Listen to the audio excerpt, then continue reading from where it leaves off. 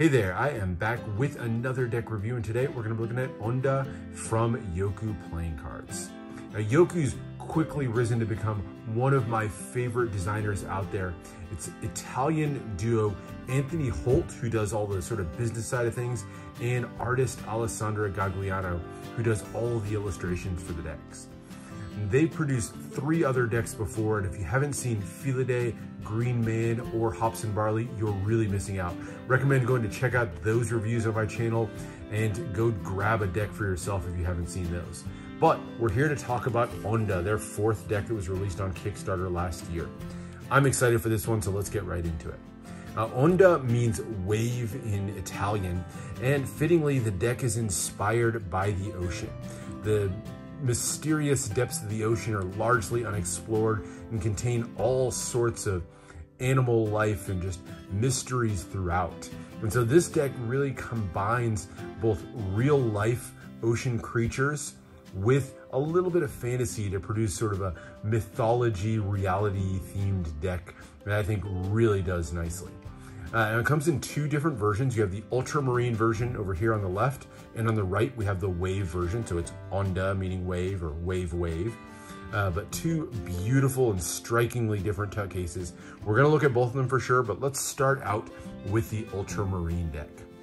Uh, this one really captures that mystique of the ocean. It has that mysterious feel to it overall. The dark blue matte tuck case has this beautiful pale blue foiling. Now, all of the work here on the tuck cases is done by Boscheiro and Newton, an Italian-based printer who does phenomenal tuck cases, some of the best in the world.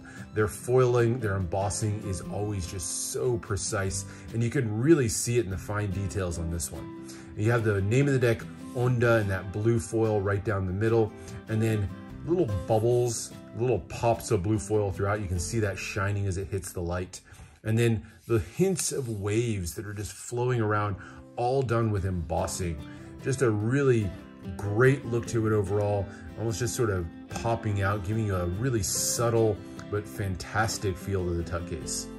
Uh, on the sides, you've got the name of the deck once more, Onda, with a little bit more of that embossing making its way over. The other side, designed in Italy. Bottom has your ad copy, mentions Jocu playing cards, Boscheiro and Newton who did the tuck cases, and Cartamundi who printed the cards. Top has Onda once again with some little bubbles making their way around. And the back gives you a hint of the back design of the cards. I'm not gonna talk too much about those details, but take a look at that fantastic foiling and extra pops of color. You have the little fish swimming there with little hints of orange and then a darker blue foil, which looks great against that light blue foil that's making up the rest of the background. Inner flaps here just features a small, simple Nautilus shell and some extra little ocean-inspired details on the inner flaps there. You do get some really nice inner printing as well. Most of it's made up of this wave pattern that you see here. It continues all the way down the tuck case, a little bit hard to see in the dark there. And then you have a fish sort of leaping out of the water there on the larger inner flap on the inside. So really nice tuck case. Great job by, by Boscheiro and Newton on executing on a fantastic bit of artwork. But that's just the tuck. Let's get a look at the cards. And here's the back design. Very similar feel overall to the art style that we saw on the tuck case itself. Uh, dark, dark blue card itself. And then it's covered with a series of sort of blue tones that match the ocean. The background is this almost squiggly lines, gives you the feel of waves flowing all the way around in a super intricate pattern. Let's see if I can zoom in here to so you can see some of that finer detail. You can see bubbles and waves all the way around forming this fantastic design. And then of course, your eyes drawn immediately to this flow of fish leaping out of the water in a splash. You got the splash here with the fish kind of curling its way over. With that orangish peach color, almost gives the feel of like a koi fish or something like that to me. Uh, but great motion and flow on the card overall, and then finishes out with a very organic feeling dark blue poker border. I'll say the only knock I have on this is some of those details in the background get a little bit lost when you look at it at a distance, but when you get up close and really examine the card, you can just see so much fine detail that I really appreciate. So great job with the back of those cards. I'm a big fan. All right, extra cards. Your first ad card is gonna be a little bit of a story of the deck. Course, talks about Jocu and who produced the cards, but tells you a little bit about the sea that really inspired the deck and some of the marine mythology. So nice little ad card there. Uh, you also get a uh, blank card. A little bit odd considering I think that this is for the most part an art deck. So getting a gaff card, I would have preferred maybe a double backer or something with that. And then you get a pair of jokers and you can see some more of Alessandra's fantastic artwork on these. You get both a male and a female Joker, and they're both inspired by some of the mytho mythological creatures of the sea. The male Joker is a merman, so half man, half fish, and you can see him flanked here by these beautiful and distinctive dragonfish, those flaring out fins with the sort of waves and tendrils going off of it. Really striking. And that same feature is the, of the distinctive fins that you see on the dragonfish are sort of mimicked on some of these protrusions that are coming off of the merman himself. I love the sort of pensive and uh, determined look that he's got on his face too. But a great look to the merman. And then the female one, this is a siren. Sirens were known for luring sailors with their music. They're usually part human. So this one again, just like the merman is part human, part fish. Uh, the tail of this one is uh, actually from a flying fish. And you can see those sort of flares or almost like a skirt that's draped around her. And then she's covered with nautilus here. These uh, segmented shells, one of the oldest shells that are in the entire ocean. Great feel to it. And I love that her hair sort of mimics the tentacles or tendrils of that nautilus. Uh, really kind of echoes, almost like the nautilus is her spirit animal or something.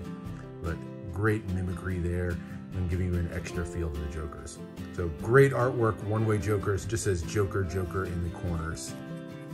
All right, the aces. The ace of spades is definitely your power ace and features a lot of extra little details. Very coral reef inspired to me.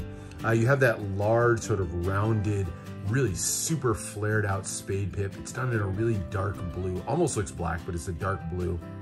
And lots of little bits going here and there. Looks a little bit like coral reef bits that are just growing off of the spade. You have these sort of waves coming through in the background and then a large curled shell at the top.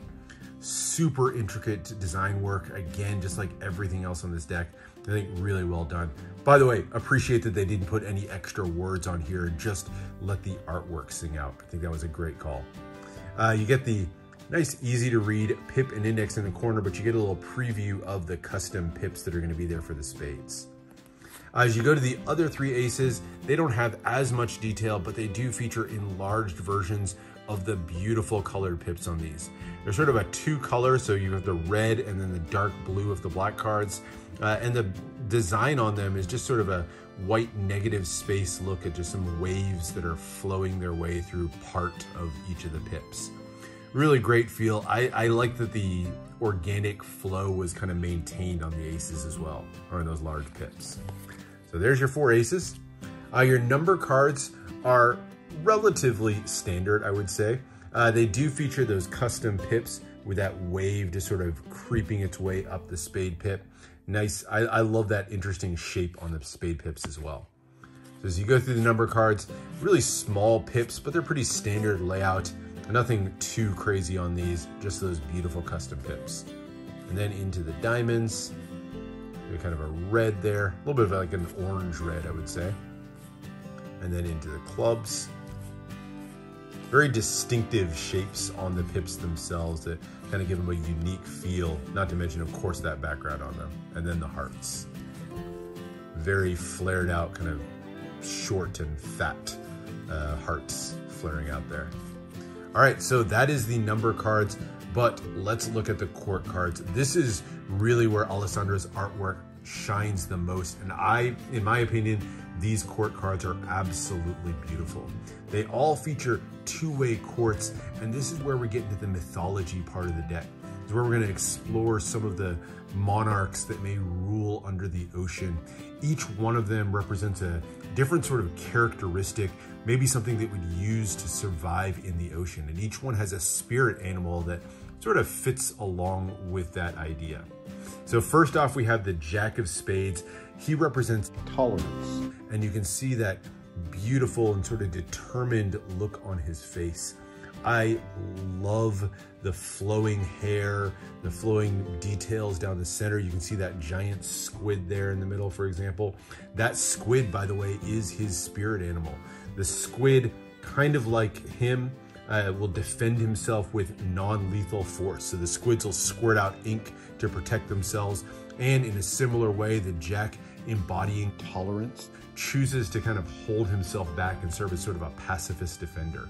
So the squid's a great pairing. But I love the colors.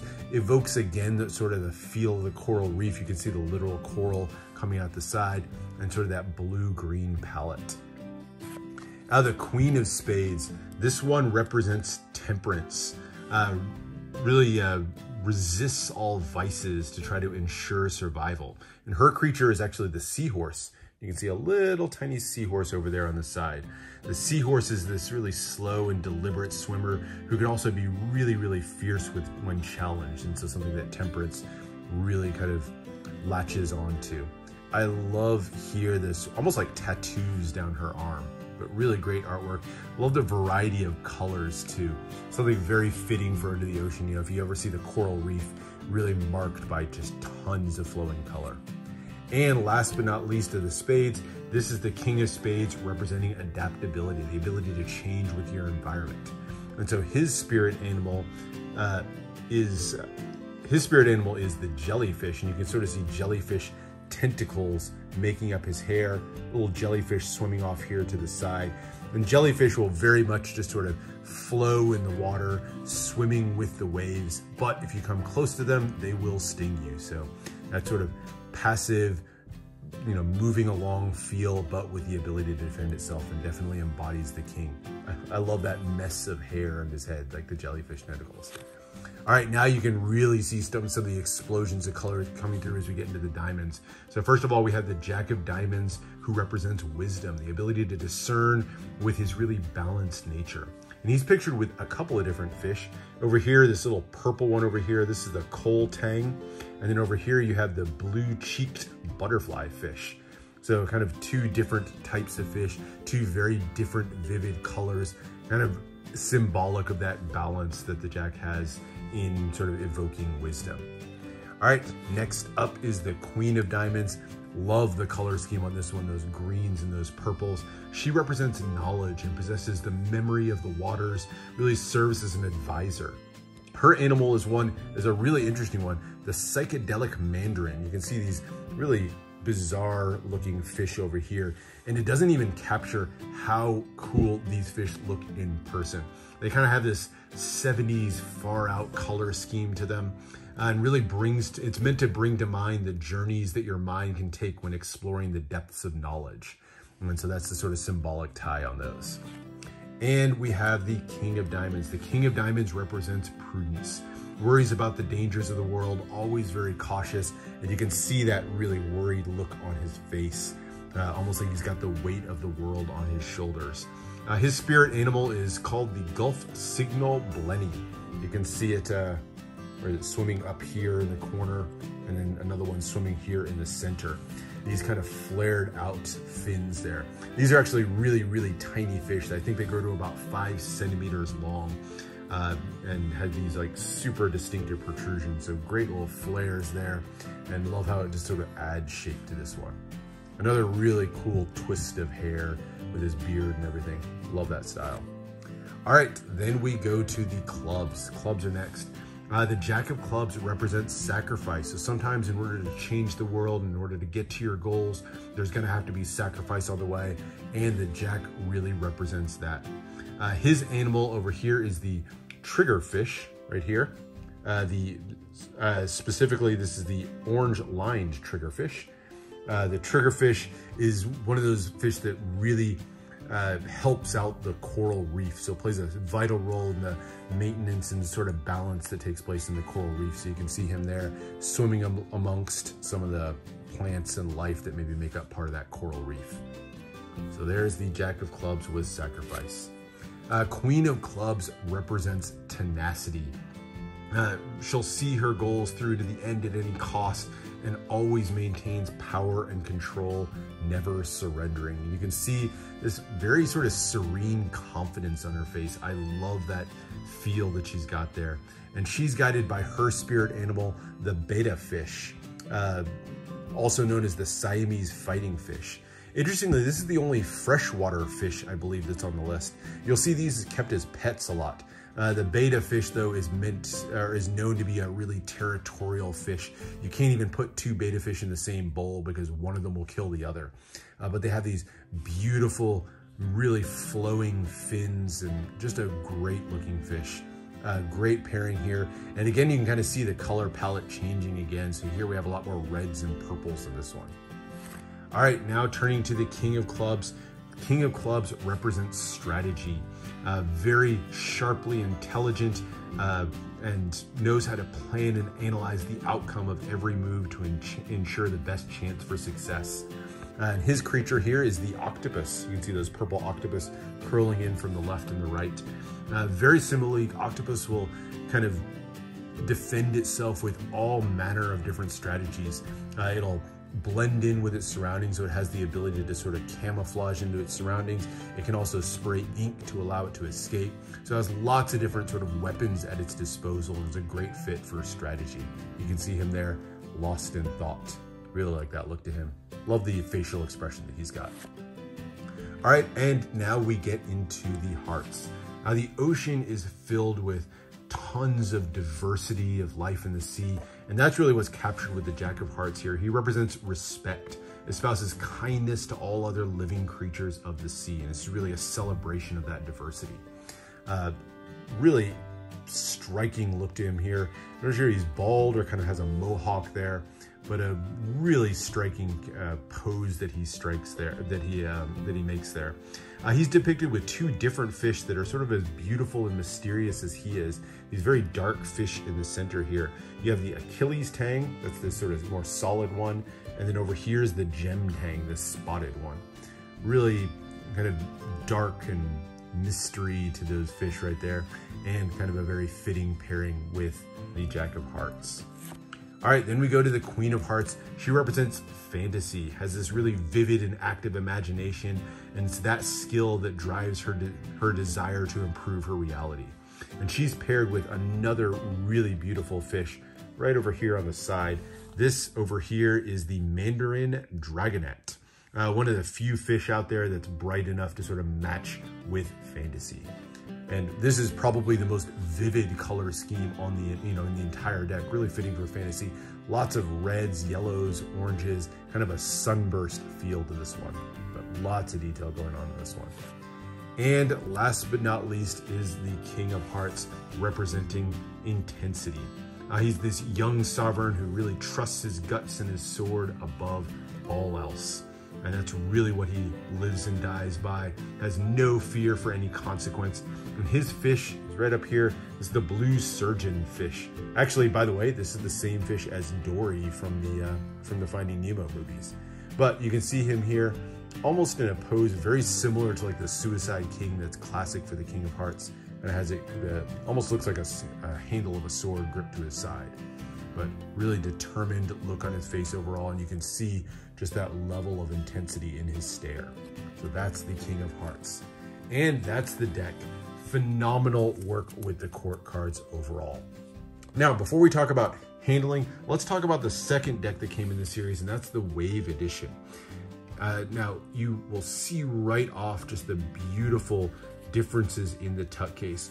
Where the Ultramarine deck maybe celebrated the mystery and the depths of the sea, this one really comes to the surface where you can see the flowing waves over the top of the water. Done with a really bright color scheme, this super bright blue, uh, and then almost three different colors of blue here, but you have the super bright blue, more of an electric blue, and then almost a teal here.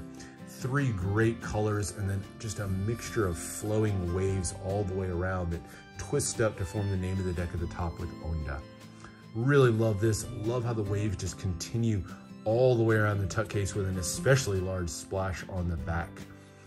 Great use of the foil against that white background. Just a really striking tuck case all around. The interior tuck features extra little splashes on the inner flaps here and a very similar design, but obviously a different color on the inner printing as well. So same design with those waves and the fish, uh, but this time done in more of that teal foil. Love this tuck case and love it as a contrast to the mysterious dark blue of the uh, ultramarine version. Now the faces of the cards in this one are exactly the same. There's no differences to this one overall.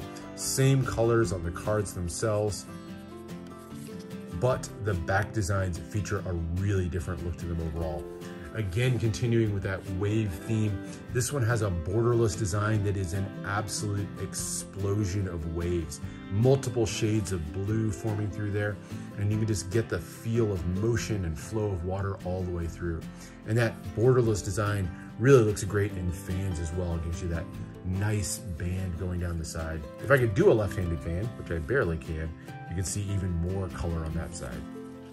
But really great contrast on this one.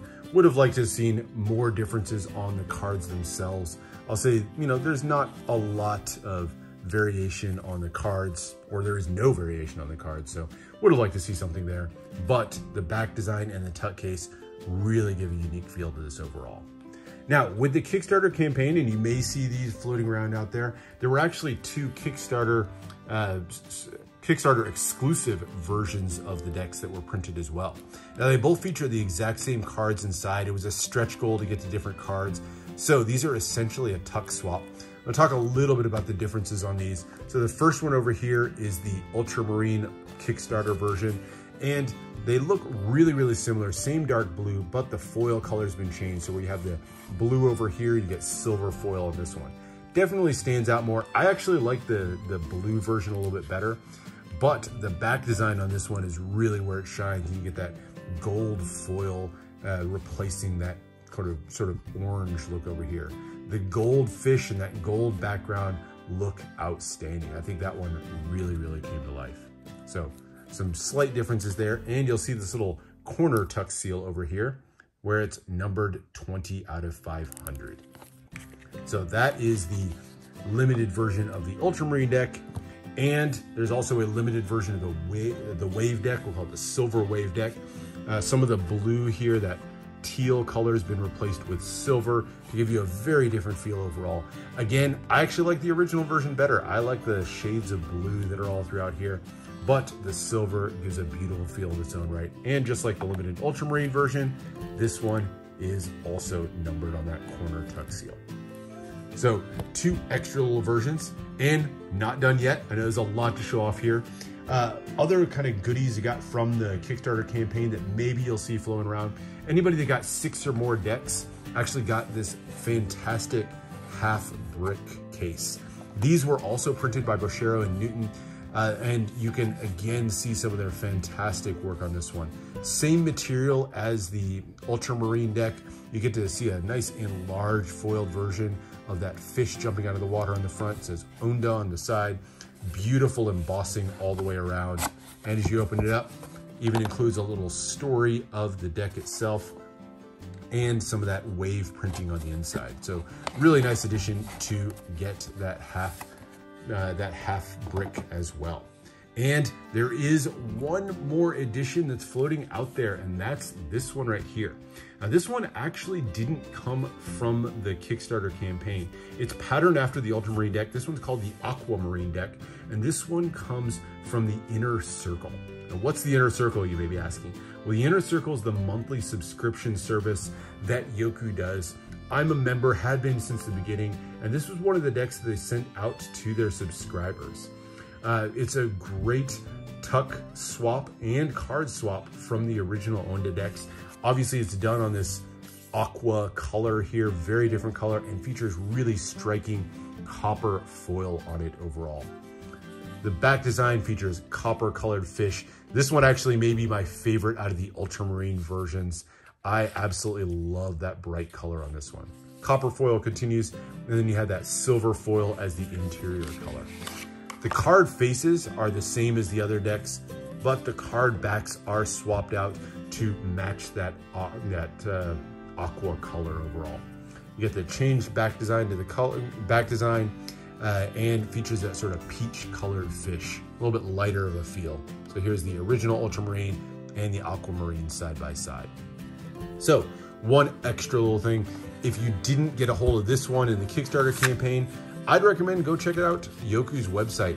This one, I believe, is actually available now. It was originally only available to Inner Circle members, but I believe anybody can get these now. So I'll put a link down to Jocu's site where you can check this one out for yourself.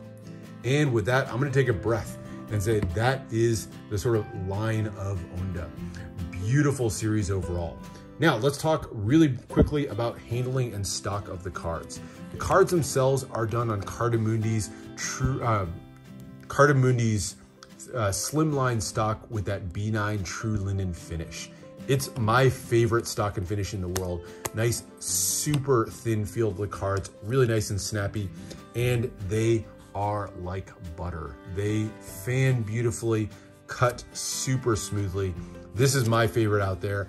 I love the feel of these. Has that really distinctive pattern. If I tilt in the light, you can see that true linen finish all the way down. So these are gonna handle absolutely beautifully. Uses of this deck. Well, if I was gonna get this deck, I would say as an art deck, hands down. Alessandra Gagliano does some of the best artwork out there, and this deck really lives up to her standard. So as an art deck, gonna be absolutely great. I think you could use this for gameplay as well, really add a little bit of extra interest to it. Yeah, you could use this for cardistry, especially that wave deck would look great in motion and kind of spins overall. So this, I think, is a really functional deck. One I'd recommend opening, but wouldn't mind grabbing a few to kind of keep for the collection and keep in pristine collection on the uh, condition on the shelf as well. So that is the look at Onda from Jocu. Hope you enjoyed this little bit longer review. Love diving really deep into Jocu decks, no pun intended. The stories, the mythology and everything that, behind, that are behind them, they really sort of deserve that deeper look. So hope you enjoyed and make sure to subscribe for more deck reviews and unboxings. Let me know what else you want to see in the future and I'll see you for the next one.